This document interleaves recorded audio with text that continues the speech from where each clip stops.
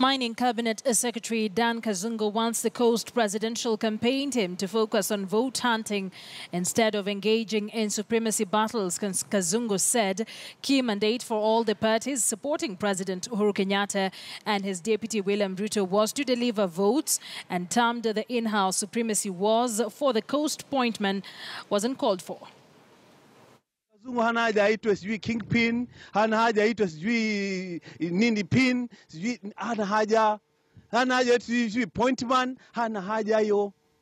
Dan Kazungu anataka tu kura za kiheshima za Uhuru Kenyatta. Peke yake, peke yake, sina haja nasho.